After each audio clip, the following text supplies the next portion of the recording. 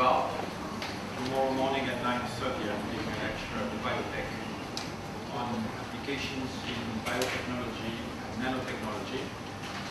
For the biotechnology applications, it has to do with something that I already told you about diagnosis, about uh, gene transfer, but some other things also, and the nanotechnology. There will be also some other, especially material ดัง science. พี่เล็กดังขึ้นอีกนิดได้ปะข้างหน้าข้างหน้าโอเคนะที่ผมฟัง today in order not to be too long.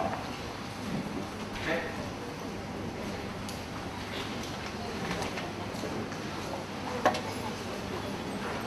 So, um, I indicated that uh, a step beyond the uh, molecular recognition processes if you understand them, is to try to use molecular recognition for controlling the way in which things get together. In other words, for performing what you may call self-organization. Uh, what I have told you up to now is tailor-making projects. In other words, making a lock for a given key. Tailor-making, designing, pre-organizing a receptor for the selective binding of a given substrate. The next step in complexity would be to try to use these recognition processes to induce the formation of a given structure. In other words, to lead to the specific generation of a given architecture, hopefully a functional architecture, on the basis of the way in which you have constructed your system so that it just will spontaneously go there. And that is a, process which you may call self-organization. Let me just illustrate that by a biological example, because that gives you a good idea about what I mean. This biological example is the assembly of a virus, tobacco mosaic virus. This virus is represented here. This is a cross section. The virus is composed of proteins, which you see here. These are the proteins of the virus, this unit here, shown here in more detailed form. And this is a schematic representation 2,250 of these bricks spontaneously assemble, make a helix which grows, grows further and further until it generates a helical tower, and in the center of the tower, in the hole in the center, is located the genome of the virus. RNA, the ribonucleic acid of the virus. So that's a very interesting process because all you need to have is the genome, the brick, you mix it and you automatically generate the virus. What does it imply? One, you must have a specific way for getting the bricks together. That means recognition, surface surface recognition. Then the system grows, assembling around the genome, uh, around the RNA, and when the RNA is completely surrounded, it stops. So you have really something, it stops because see this, this here touches this, and so it touches, and it doesn't touch anymore, and it stops growing. So that means that this system is self-organizing, and it functions like what you may call a programmed system because the molecular information for inducing the formation of this entity is contained in the components. The information is in the components, in the bricks. The bricks have to recognize each other, surface to surface, in a they are set complementary to the shape, set complementary fashion. And the operation, the processing of the information is supramolecular. It happens through the type of interactions you're using. if you want to push the energy with a program, you can even say that there's an algorithm for reading the information, which is the type of pattern you use, the way in which maybe three, two points of interaction and so on. This is the algorithm for reading the information. Now these are general principles. I can then try to apply them to different types of entities. And me just show you an example which may be of interest. I will restrict to one example. There's another one which I will use for, for the, the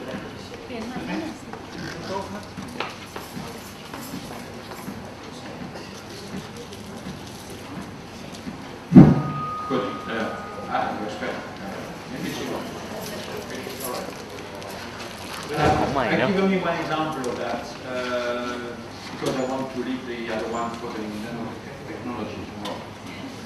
So one one way in which one can look at it is the following.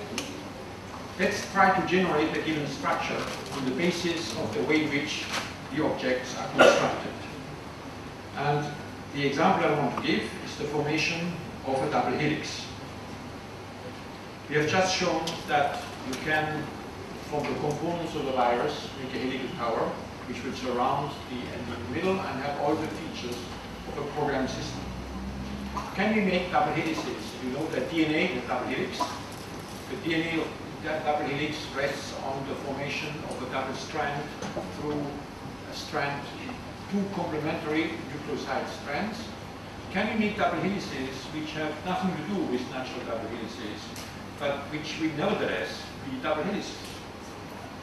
This can be done in the following fashion.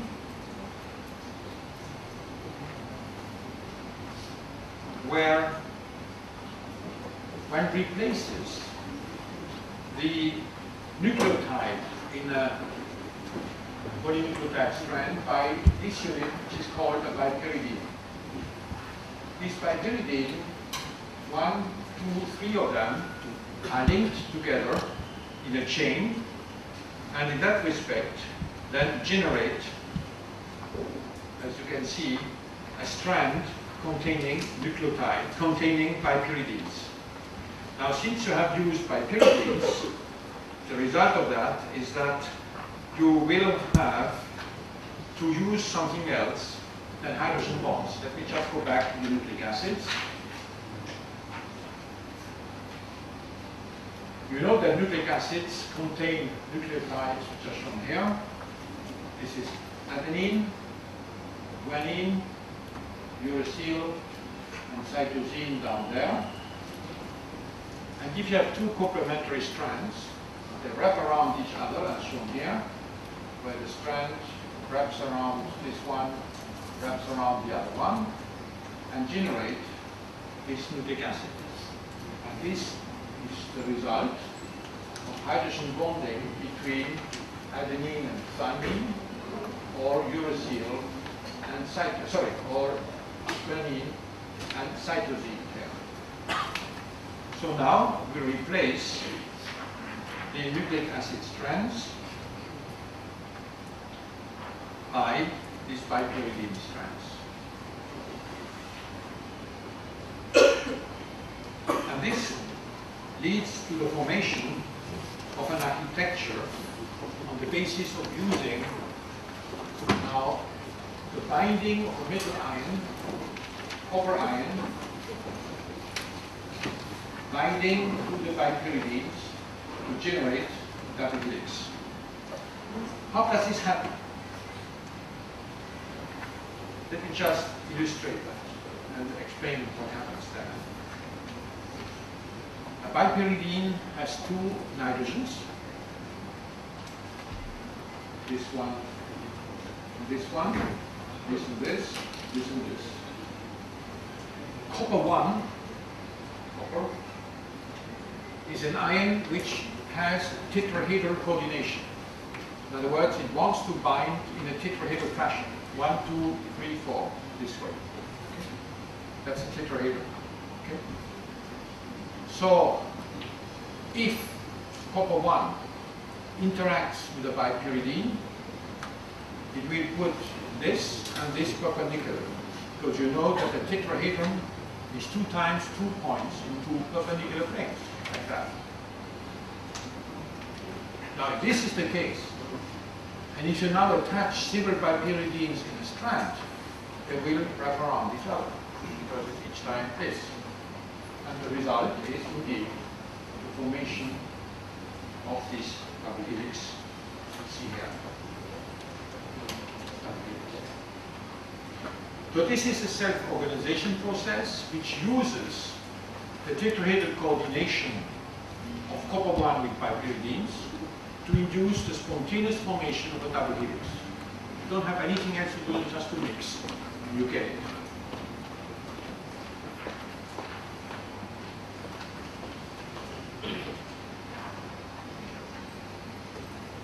We obtain specific organization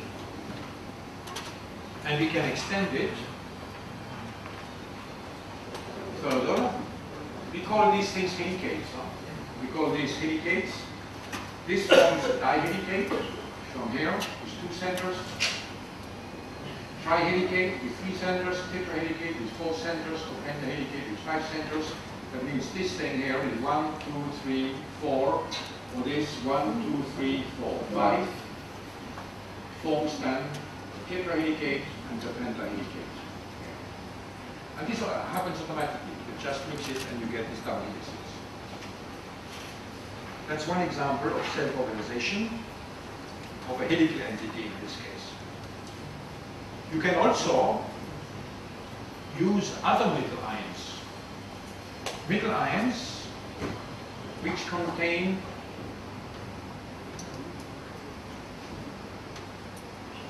which have a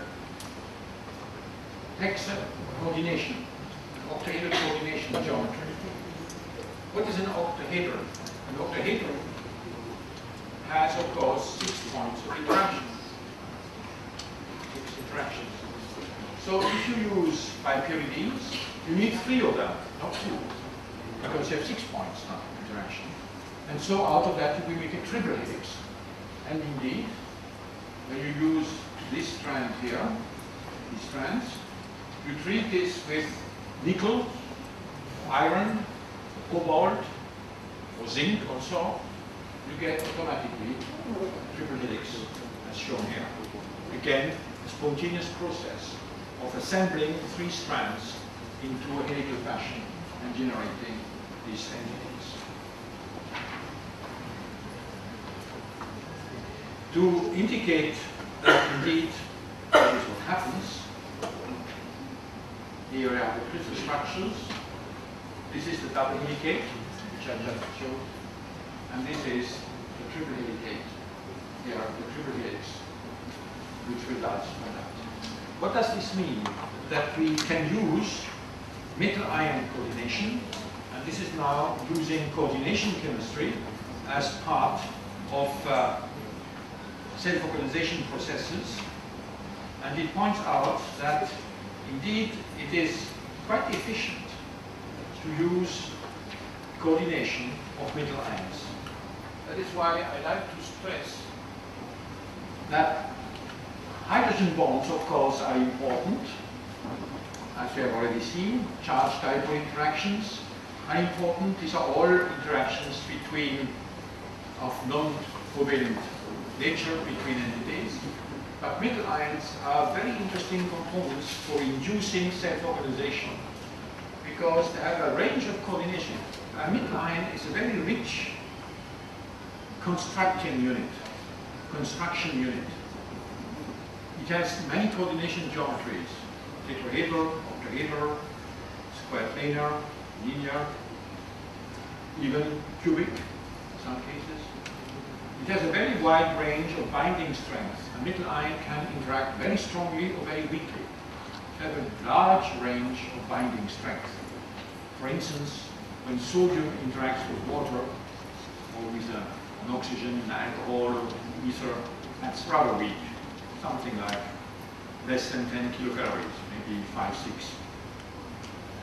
When ruthenium ion interacts with pyridine, that's very strong. Something like 50 or 60 kilocalories per bond. Have an enormous range of binding strength. And in addition, they also have a variety of interesting properties. Coordination compounds have interesting electrochemical features, electronic properties, interesting photochemical features, one can excite to excited state chemistry, electron transfer, energy transfer, and there are also signs for reactions. So using metal ion in this design of system that are able to uh, interact and to assemble spontaneously leads to a general area which has now been developed in uh, many instances. I have shown you double helices. One can make cylinders. One can make grids and other type of architectures. I showed you just the architecture, but I will not detail it because that's more nanotechnology I will be talking about tomorrow. But this is a general area which is quite interesting of using metal-ion coordination to generate function, what one calls metallo-supramolecular type of architectures. Double helices is one example. The other example, which I can just indicate without going into detail today, are the architectures which are shown here, and where one can make either what we call a rack, which is a rigid molecule with other ones stuck, linked to it through a coordination of the metal ion. This is a rigid molecule, that's a rigid molecule. These are molecules are stuck to it and bound by these little ions here. We can make ladders where two rigid molecules are bridged by others, or you can make more complicated these grids here where molecules are held perpendicular to one another. And where each intersection, a metal ion holds it together. I give you just one example of it to illustrate that. So these grids are especially interesting for potential applications. Let me just give you one example.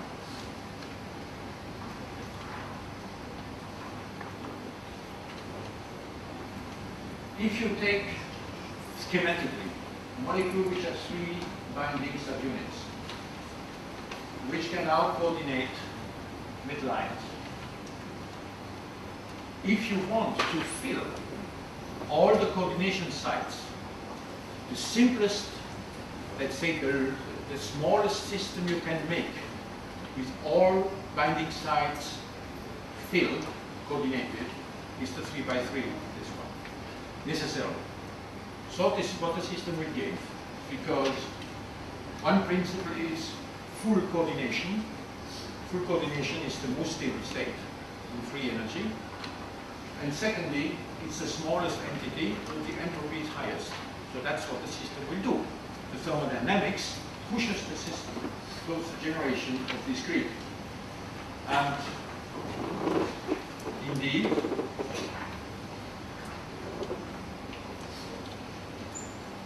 if you use this molecule here, which has one, to freely binding sites and treat it with silver 1, silver, which is also tetrahedral coordination.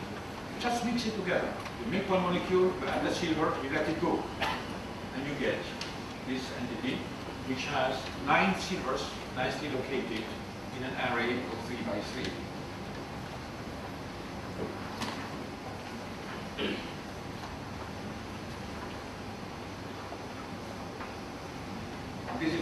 Structure.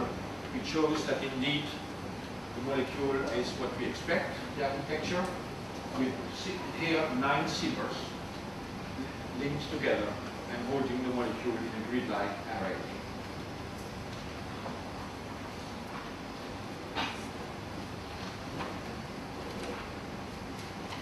Now, these self-organization processes are interesting not only for the generation of uh, what you may call nanostructures. This kind of structure I've shown to you are nanostructures. But they're also interesting for the generation of new materials. Now, material science is something which is uh, usually assigned in organic chemistry, like polymer chemistry, polymer science, or inorganic chemistry, like uh, solid state type of inorganic entities, like zeolites, or like uh, other type of surface arrays. And let me give you an example of uh, materials which use the self-organization of supramolecular entities to generate new material. So let's have a look at what one can do on going from molecular materials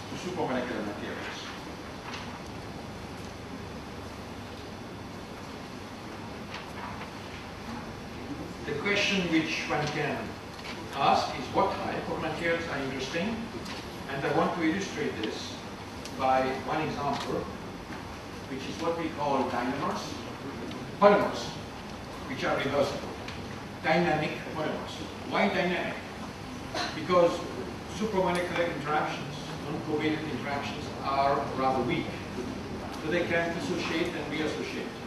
So if you make a material out of components linked by non-covalent interactions, this will be rather labile, to the components and reassociate. Now this may be a problem because you usually want a material which is stable. But on the other hand, it is an advantage also because it has different new properties, which is the fact that when it can dissociate and reassemble, it means that it has also the possibility to adapt and change when the conditions change. In other words, these are dynamic materials. So supramolecular polymers are what you might call dynamic materials supramolecular nature because the components of the material are linked by non-covalent bonding. Let me show you an example of that.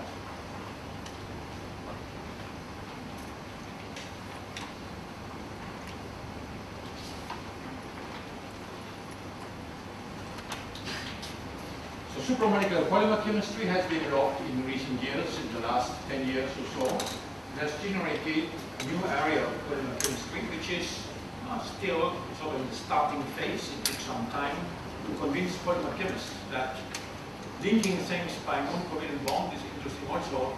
Usual polymer chemistry, as you know, is to take a component, a monomer, and connect monomers together by anionic polymerization, cationic polymerization, or radical polymerization, making covalent bonds. What we now would like to investigate is can one make polyassociation entities where the monomers are linked together by non-covalent bonds. In other words, polyassociation of complementary monomers which are connected through non-covalent type of interactions. This can then be represented in this way, where the building blocks are monomers containing recognition groups here and here. As you see, this recognition group is complementary to this one. And so you may think that they will interact and then generate a chain. You can also think of using trivalent groups, then you can do cross-linking, like polymer in covalent chemistry. Or you can use single monotopic groups, which then would be end capping, compounds through an end capping. I cannot go into all of the illustrations, but I just want to show you an example.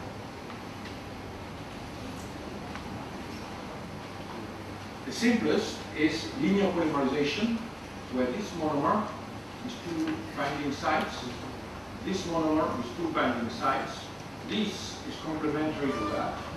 They will attach and generate by polyassociation this type of chain. If you add a group which is trivalent, then you get cross-linking as shown here. And of course, you can also do end capping if you want. So let's have a look at one of them. That's one case. The first one we have studied. For example, 1990, at uh, the, at my group at the Collège de France in Paris, where you see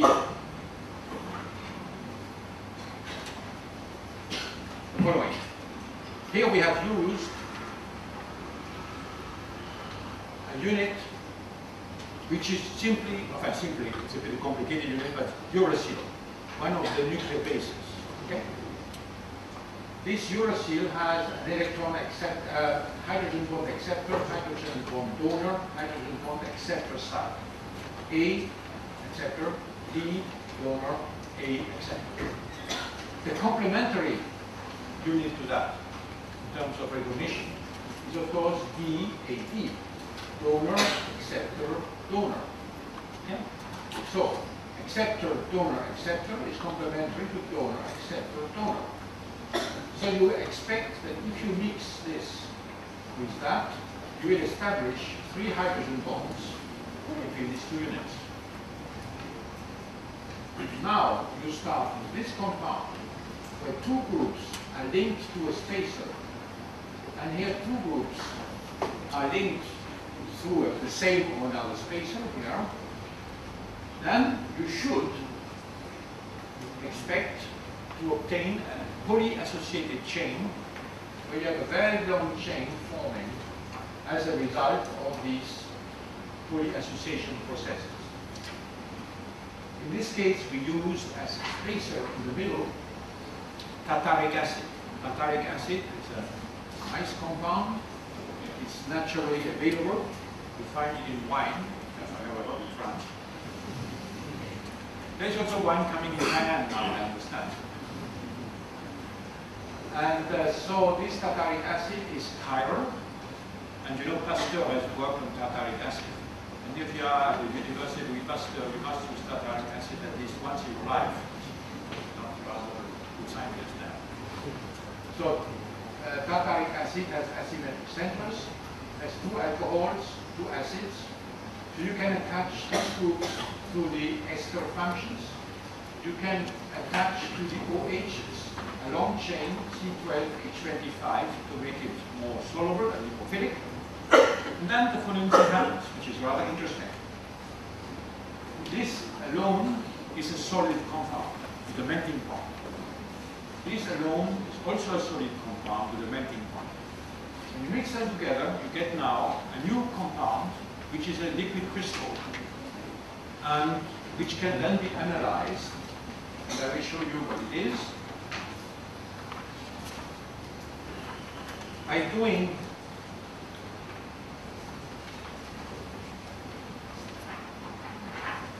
X-ray diffraction experiments, one finds that the compound obtained is a triple helix. Triple helix where three of those strands are wrapped around the helix, uh, uh, around the, an axis. Huh? Three strands are wrapped around. They are shown here. One, two, three. I use different shaping. This, this, and that. That's one strand, the second one, and the third one. Here I only represented one to show you how things go. And here all three are shown. The distance between these here is 12.5 angstroms.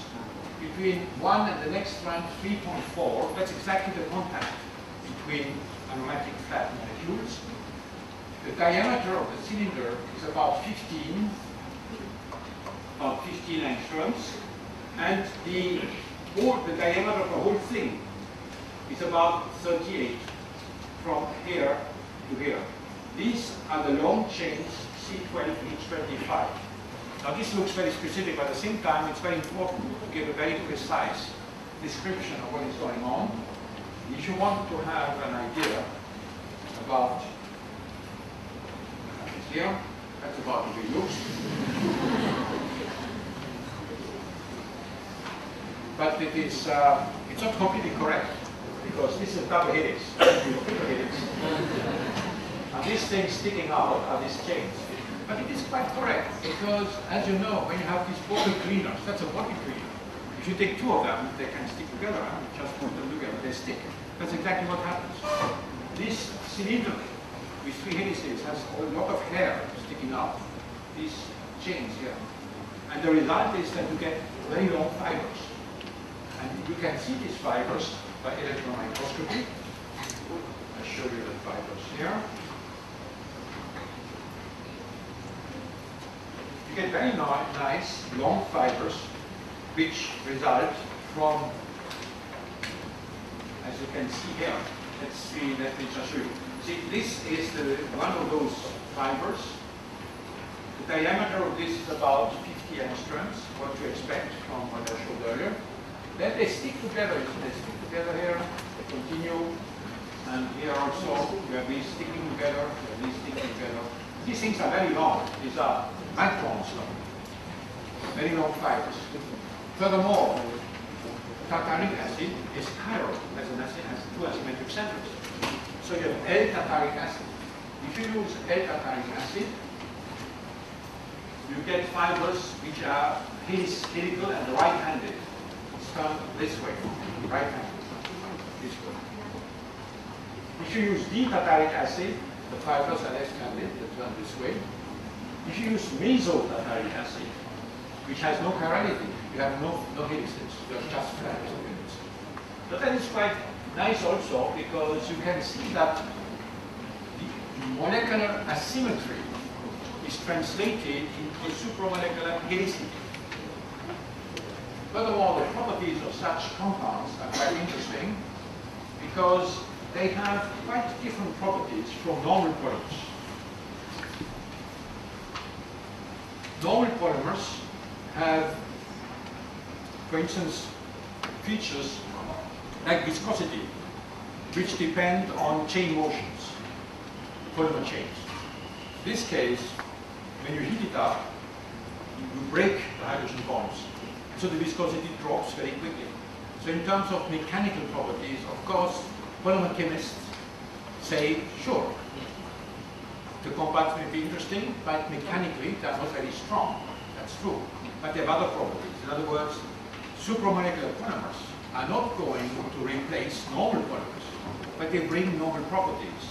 Like, for instance, very rapid changes in viscosity. It's like switching viscosity. You begin, you heat a little, viscosity drops. Or you begin to shear, you induce mechanical stre- stress on the substance. You cleave also the bonds and you lose the viscosity, the viscosity, and it comes back. I can show you that in a case which I don't want to go more into detail, just to show you what happens.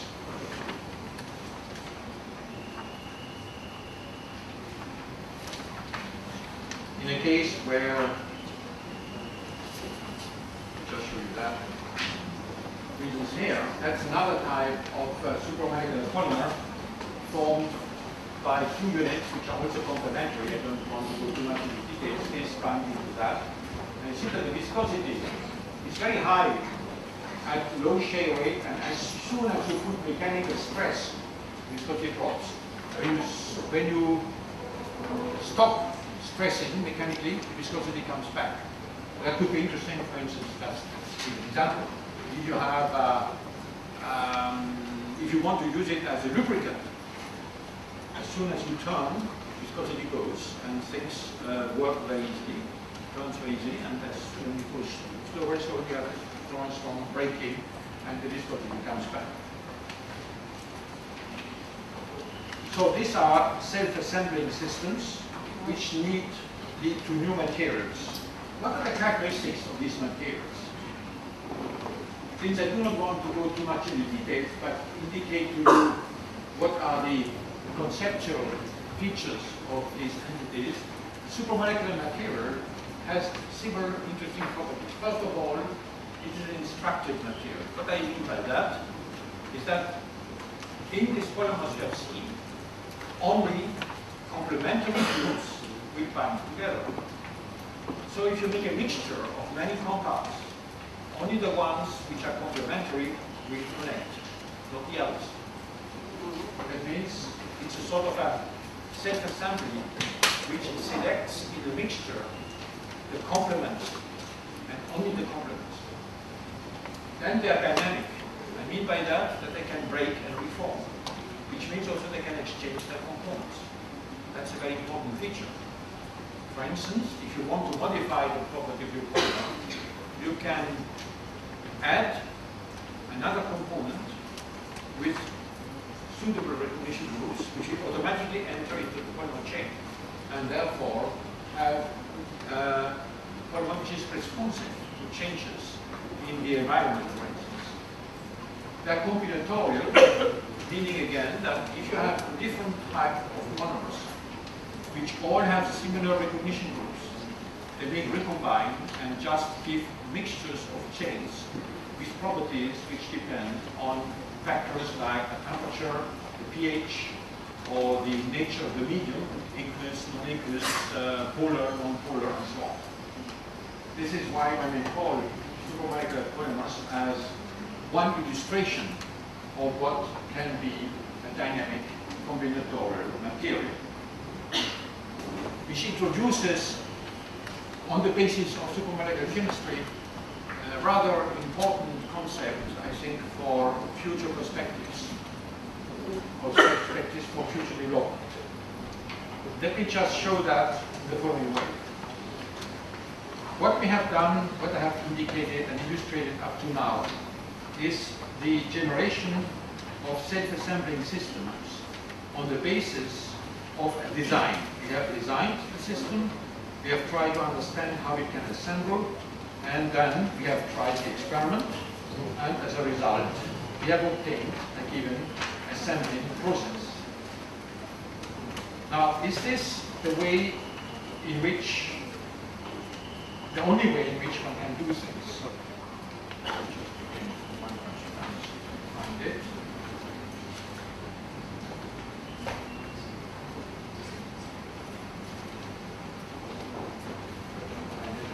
because I can tell you. And so what you have seen here, I have we have used systems where we have designed the monomers and let them interact. So Next thing which would be interesting, can we also do self-organization by selection? In other words, we make a system where the self-organization process selects automatically what it needs to form. And I want to illustrate that to you because it gives ideas about developments in this area.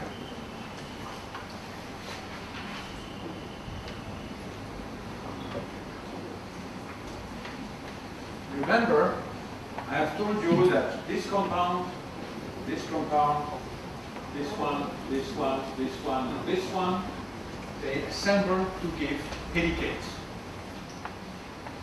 Then we did something which is terrible. Usually, an organic chemist spends his or her time cleaning up compounds, making pure compounds. Okay, that's what we should do. But you can ask the question, what happens if you have mixtures? Now, I do not say that you have to make dirty compounds with that. You don't want to do that because your research advisor will be very unhappy with that.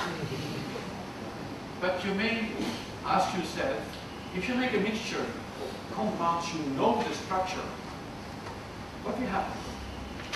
So we took these four and mixed them together. We know that individually they form helices. What do they do when they're mixed?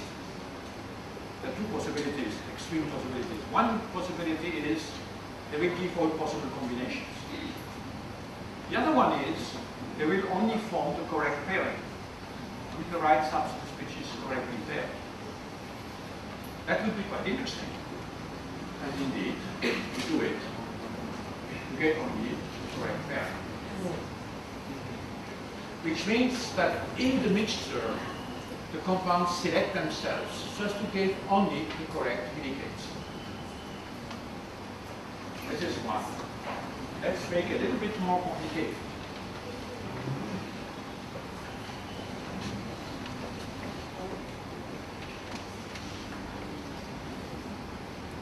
I had shown earlier that we can make a double helix with this strand and copper one, a triple helix with this strand and nickel 2.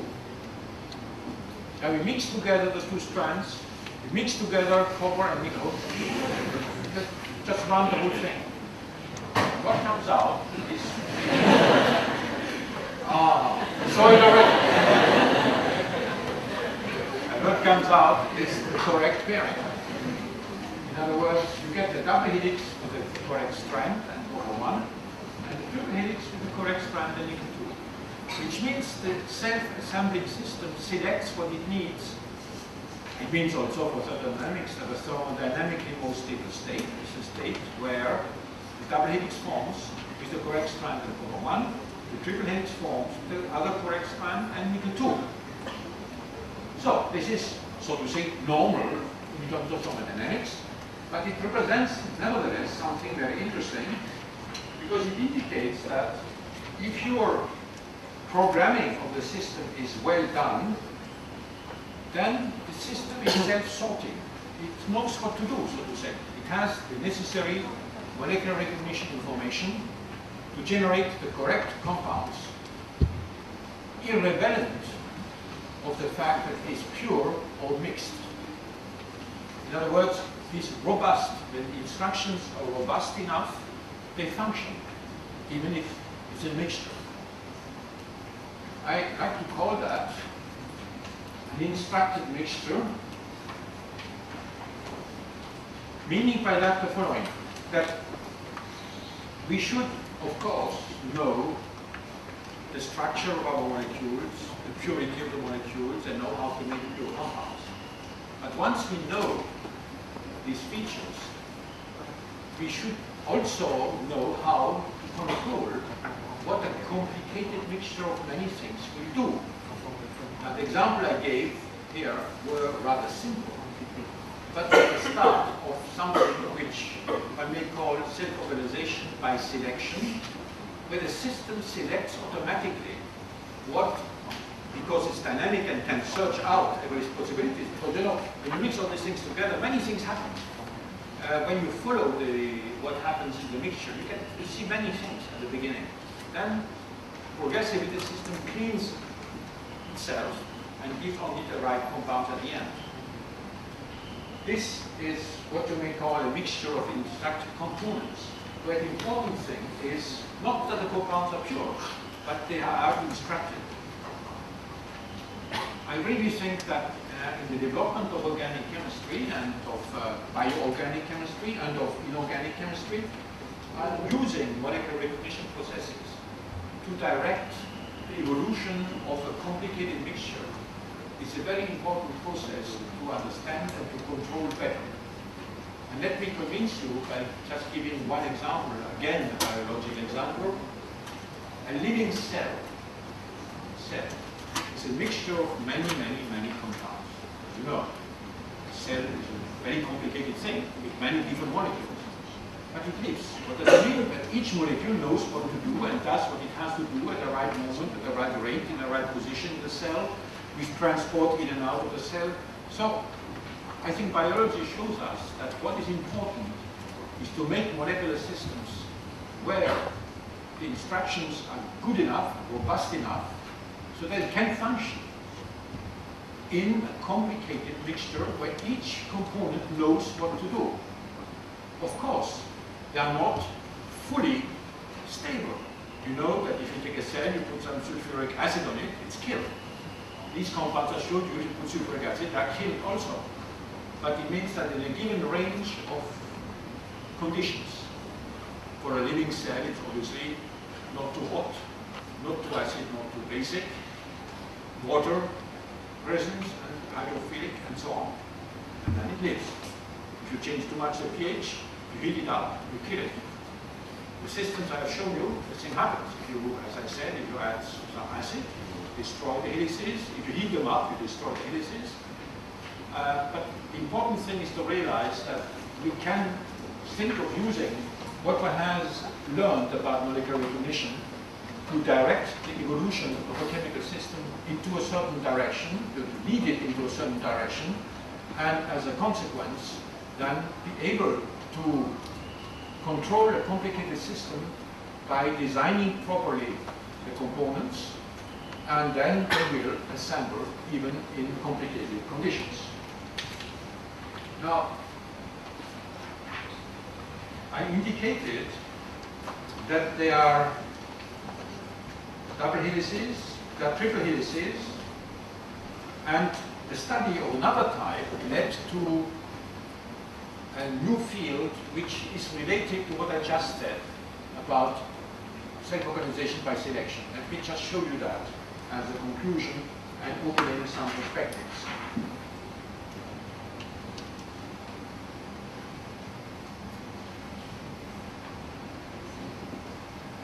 One can induce the formation of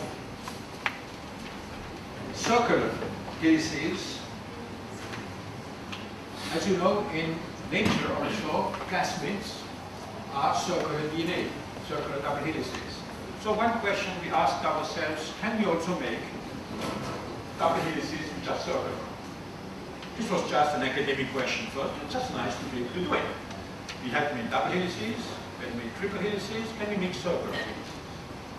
And indeed, when you take this substance with iron, you get a substance which we didn't predict really exactly, but we get one where strands, these strands are forming a circular double helix with five iron centers. How does that happen? It happens in the following way. You see each iron is bound to the terminal bipyridine of two strands and to the central bipyridine of the first strand. As a result of that, you have what you may call dangling ends, and you have the possibility to connect these centers around the circle, making this entity with iron, iron, iron, iron, iron, five of them, and each center is octahedral, and it forms, you see this helical, this helical here, this helical is wrapped around, and they form may call a circular double helical. In addition, something interesting was happening. When we looked at the substance, we found that there was a chloride ion in the middle. This, okay, why? First thing is, of course, to show that the structure is correct. Crystal structure showed that indeed it is correct. It's a nice structure. It looks like a flower. Which has one, two, three, four, five irons. It has five strands, white one, red one, green one, yellow one, blue one. This is nice. And in the middle you have the chloride ion. So this seemed fine. And you can stop there. You can say, okay, you have a nice substance, you have a double helicate, then you're happy with it. But very often it happens in science that an experiment wants to tell you more than what you really wanted to do initially. And then you should, I think it's a general thing one should do when you have a result of an experiment. You should always think about what this experiment can tell you more than what you expected. In this case, the question was, why do we get a pentagon, five? Because after all, if you look at the components of the system, if you look at the components, this is the brick, this is the iron, is the cement. There's no reason we could get five, four, six, seven, eight, nine, ten. There's no reason why we get five, in principle. So, why do we get five? Of course, one could say, ah, we get five, maybe it's because of the chloride. Because the chloride is bound very, very strongly in the middle. It is surrounded by 10 positive charges, 5 times 2, 5 irons. So it's a very strong electrostatic potential. The chloride fits exactly into the hole. And maybe it's the chloride that determines that we get a pentagon. Course, then you can do something simple. You do the same with iron sulfate or iron tetrafluoroborate. You leave the chloride away. And you see what happens. if You look at it, what do you see? You get a hexagon. With tetrafluoroborate or with sulfate. That, that sounds interesting. If you add chloride you go back to the pentagon. And you precipitate the chloride with silver nitrate, for instance, or with silver chloride, you go back to the hexagon. So that's again a system which is dynamic and which adjusts to the presence or the absence of chloride. What does it mean? It means something very general, that a dynamic system can adjust, can recombine itself, and adjust to the conditions of the environment.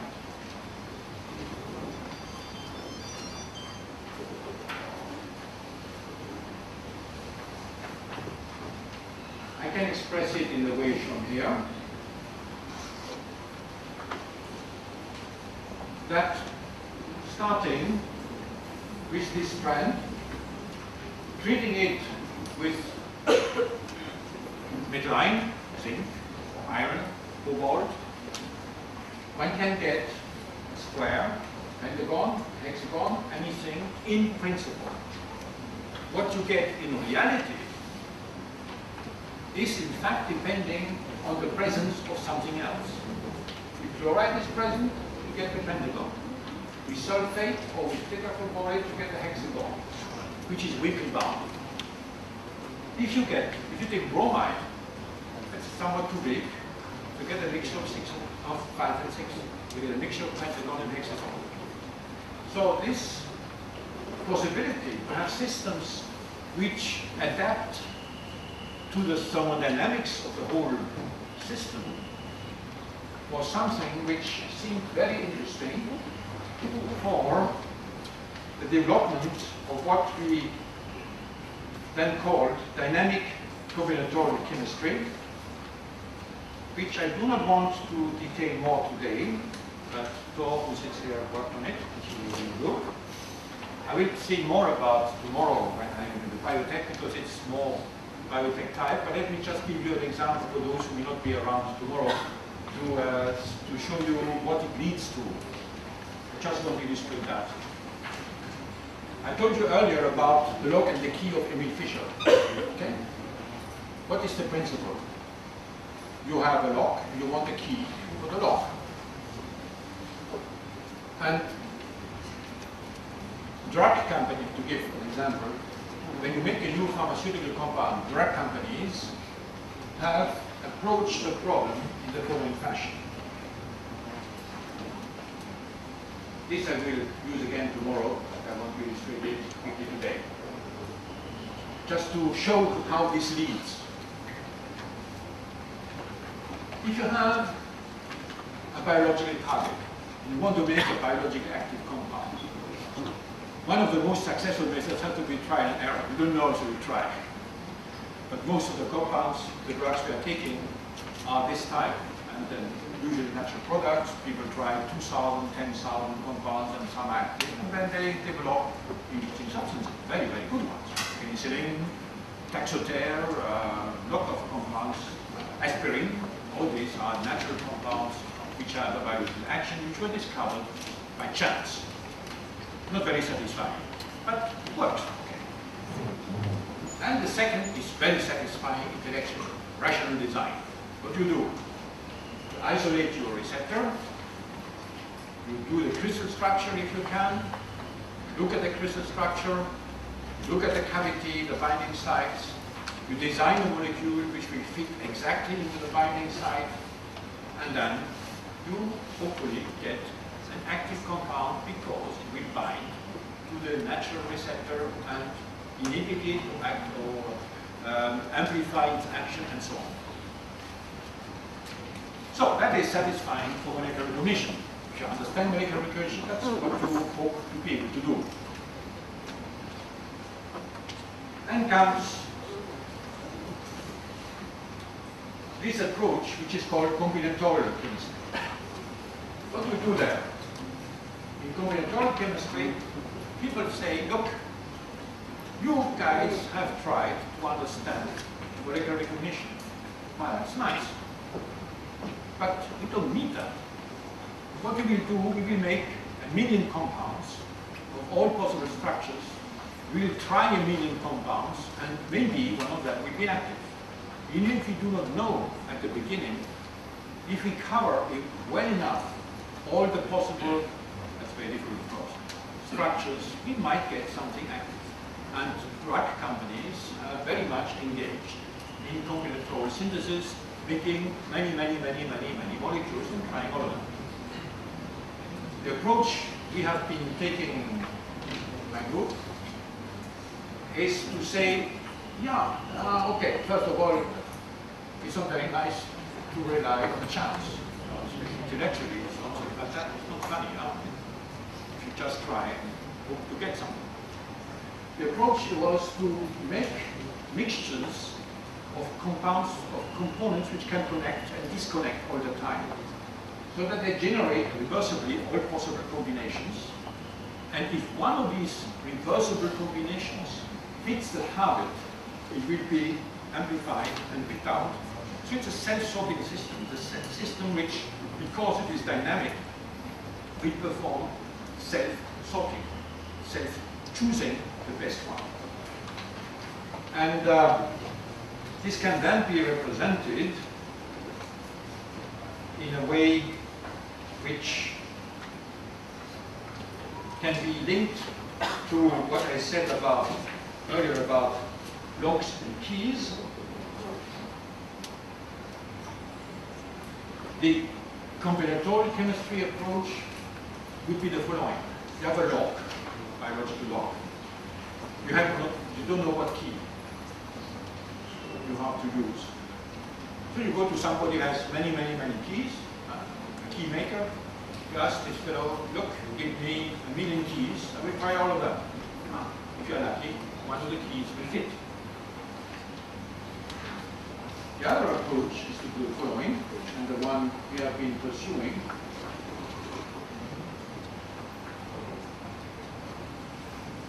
Is not to make a key, but to have only pieces of key and have these pieces reversibly assembled. For instance, suppose they're magnetic, for instance, that the keys are magnetic, and then all these things can stick together. So these are the pieces and you can just then generate dynamic library, which is a mixture of all possible combinations, but always in equilibrium. They always go back and forth, back and forth. And when now you add the receptor, if one of those fits more or less well, the receptor will pick it up. So you can amplify it, or if you put the receptor, for instance, on a solid state column, you can just run the mixture through and the good one will sticks on the column. So as a result, you will be able in this system to perform self-selection. The good compound will automatically select itself because of thermodynamics drive it to the best binder. Now, I will not go, we have applied that to a number of enzymes, enzyme inhibitors, and a number of other compounds. This will be something I will describe tomorrow. That you can use these reversible connections for generating a dynamic system. This dynamic system will be able to adapt. This is an area which in the future I think will very probably also develop, which consists of the following. If you have a chemical system where the components are connected in a reversible fashion, reversibility can be supramolecular because like in supramolecular polymers I have, we have looked at, the bonding is reversible, so pieces can go in and out all the time on the molecular level, in order to do the same, you have to introduce reversible functions. Function groups which can condense and dissociate and reassociate and dissociate. For instance, the reaction of an amine with a carbonyl leads to an imine. And if you add water, it goes back. And when you remove the water or when the reaction forms, it comes again. In other words, what I'm saying is that in the future an important aspect of chemical systems which gives them the capability to adapt to receptors, to changing conditions, to changing temperature, to changing pH, to changing chloride, sulfate, whatever is present, uh, will allow the development, it will rest on the introduction of reversible bonding not only in supramolecular systems, where the reversibility is by nature present, because supramolecular systems are reversible by nature, but you can introduce it into molecules by introducing covalent, covalent bonds which are reversible. But that is something which at the beginning was very disturbing for me, and I guess for many people, for most of us. Because usually when we make a molecule, we want it to be stable. We want the thing to hang together. And if it's not stable, you put it in the cold, you put it in the fridge, because you don't want it to decompose. But this is perfectly correct, of course. But on the other hand, you can also ask yourself the question, if we introduce on purpose reversible bonds into molecules, can we not then have new features which covalently stable molecules do not have? And obviously, one of the features is adaptive that this system can become adaptive. So constitutionally dynamic chemistry, in other words, chemistry where the constitution of the molecule changes under the pressure of what happens outside,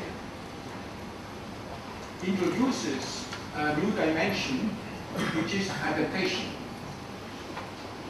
These constitutional dynamic systems are chemical systems which undergo, are capable of undergoing continuously recomposition, recombination, reorganization by under the influence of other factors. For instance, you're heated.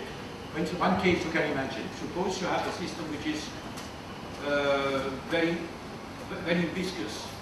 And this system which is very viscous, you want to make it less viscous. You add another component. If it can mix in, then the viscosity drops. We have shown that, if I have time tomorrow, I might show that. Um, maybe I'll show you that just because maybe if I find it, this mess here. I think I would like just to show you that because it's quite interesting and illustration of what one can do. It has been done by collaborators from Mitsui Chemical Company is it shows how dynamic systems can change their properties. I come back to that in a moment, because I want to illustrate that to you because a number of you probably are not around tomorrow. If you take this compound, this hydrazine, and condense it with this dialdehyde, you get a polymer where these are hydrazones, C and double bonds. Now that's not what you expect. And this is a very stretchy polymer. You can make the polymer, and this was uh, done by Takashi Udo, and you can stretch it. It's a good rubber, okay? This is nothing special, there are many rubbers around. But what is interesting is that when you now take this rubbery system,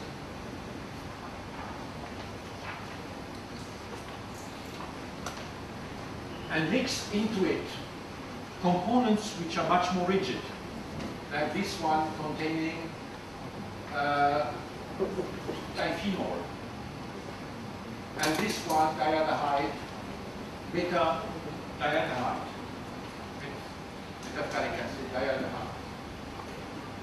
Then you transform soft stretchy polymer into a strong and hard polymer, simply because you introduce into the chain rigid groups, and then the polymer is not so flexible anymore.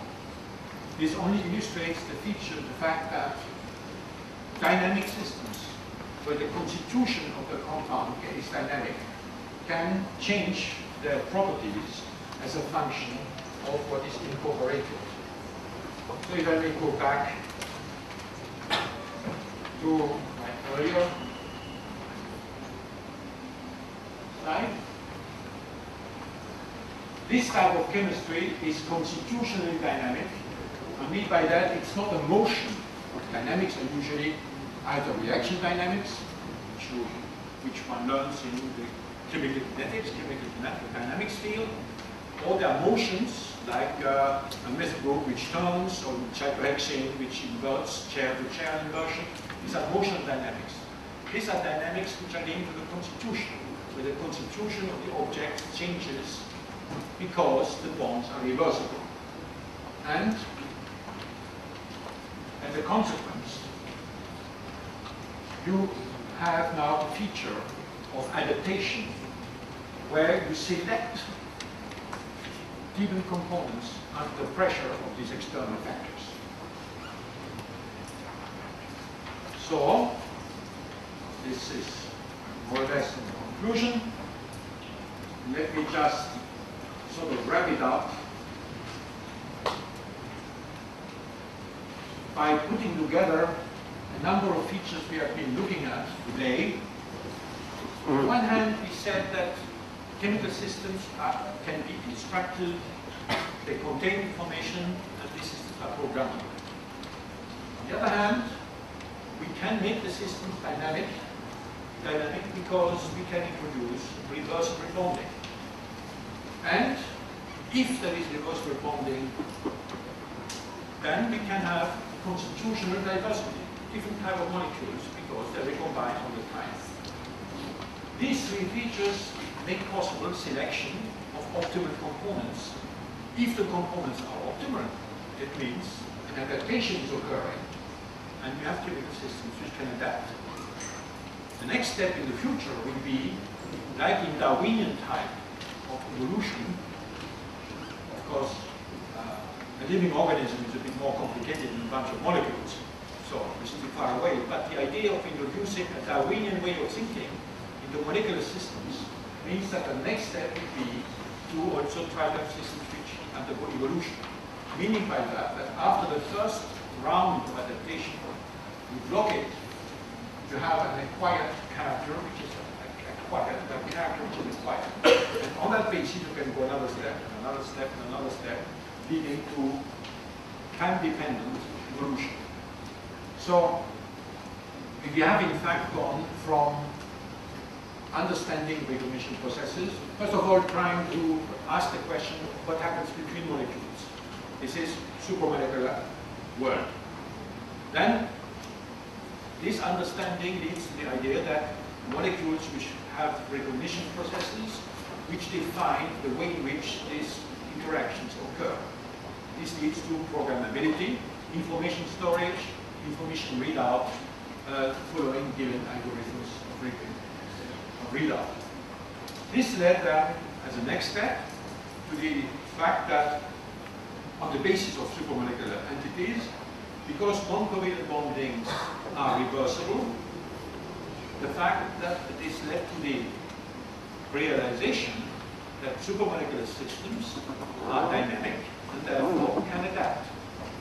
And then importing this supramolecular feature into molecular chemistry by introduction of reversible covalent bonds into molecules makes, gives, leads to the general area of constitutional dynamic chemistry, which is either supramolecular, because supramolecular systems by nature are dynamic, or which can be molecular if you, by on purpose, introduce reversible bonds.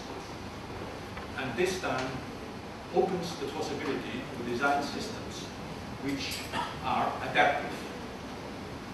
So that is more or less what I want to tell you today. I think in this development of uh, leading of, chemical systems which are more and more complex, we progressively have the possibility through chemistry to understand complexity of molecular systems.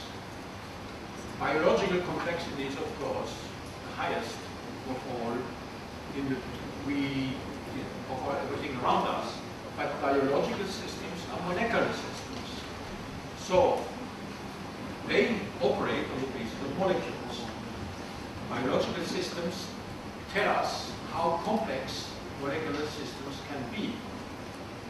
And we can make use of progressive chemical investigation to understand more and more how these complex systems function. And one major approach is to also try to understand adaptation in chemical systems. So I think in the future, from supramolecular chemistry to dynamic constitutional chemistry, there is a possibility to develop systems which present features of adaptation and of evolution. And I think in the future, this will be interesting both basically, also for applied reasons, and not the least, understanding the function, the function, the way biological systems function and adapt. So I wish all of you a lot of success. I hope that uh, chemistry will flourish here. And uh, I'm sure that so many people are around, so okay, good. And I look forward to come back sometime and uh, talk with you again. Thank you very much. Uh, recently, I have read uh, papers on uh, nanostructures. There are uh, several groups of scientists interested in uh, nanotubes uh, made from cyclic peptide linking together with hydrogen bond. Um, what is the potential applications of these nanotubes? Yeah, this is, you are mentioning Karinska Giri. Um, yeah, these nanotubes are interesting. Now they, uh, it's possible that by, this, what is mentioned here is that uh, Reza Ghadiri, especially in uh, Scripps Institute, uh, the West Coast the US, he has made cyclic peptides, which are designed in such a fashion that they can stick on top of each other like rings that they make a tube by piling up rings. And you have a hole in the middle, and this hole can, of course, be um, a way, a channel to lead ions through. So um, they think that uh, possibly these substances may be perhaps drugs, maybe cytotoxic, because if they make a membrane permeable to uh, sodium or potassium, this could be so. As first of all, it's an interesting type of object, nanotubes, which are polypeptidic. On the other hand, whether they have applications or not, one can think that there will be interesting pharmaceutical applications, biological activities, and there are some, but whether they will be useful in terms of drugs, I don't know. This is still something, uh, they are interesting because they probably are not toxic since uh, they are peptides, so cannot, shouldn't be toxic. Unless, of course, they make cells leaky to sodium or potassium and then they can be cytotoxic. On the other hand, cytotoxicity can be good if you want to destroy a given cell, but it must be selective.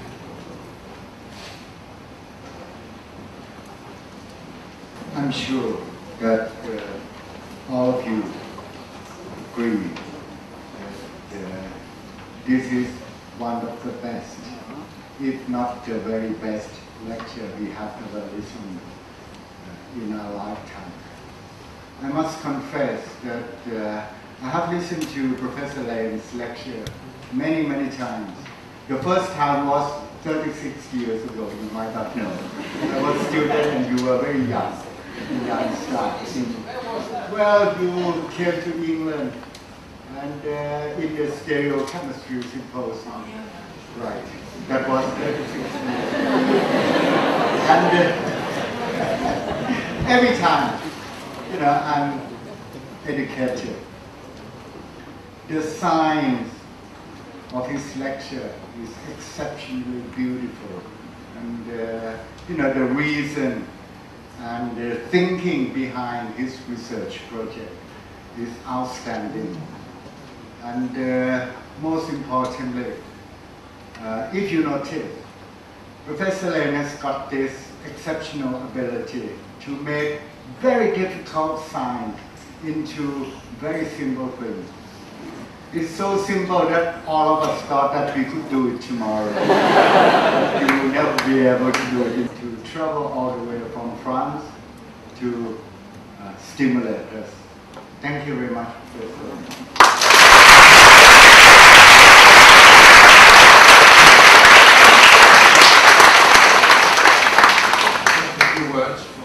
Thanking you for your hospitality for the fact that you came around to listen. And uh, I think it's very kind of you to say that, uh, okay, it's difficult to redo what I presented, but I was summarizing work of many people for a long time. And I understand sometimes it's a bit, when you hear the result of many years, you seem that, okay, how has this happened? But there were a lot of mistakes made, a lot of learning processes going through. I'm sure that you are able to do excellent science and you just have confidence.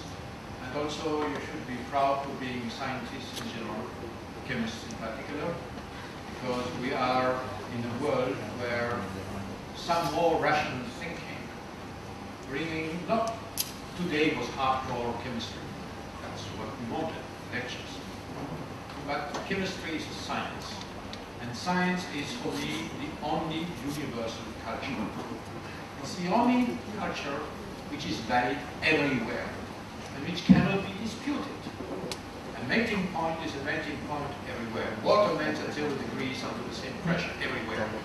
So I think we have, water is a bit trivial, but I think we have the advantage. So let's see if we can be really thankful to have become, for some reason or another, scientists because we have a universal culture.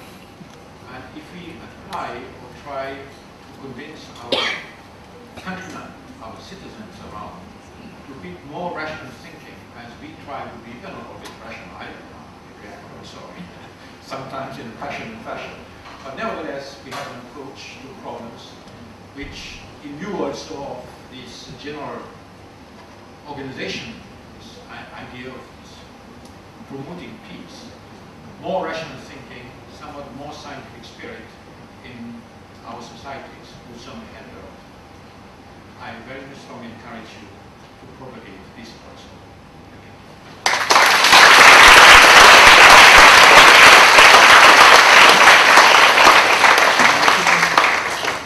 So thank you very much for everybody that stayed with us until now. Thank you.